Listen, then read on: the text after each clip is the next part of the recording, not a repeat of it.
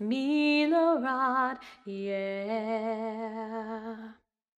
One happy birthday dot com.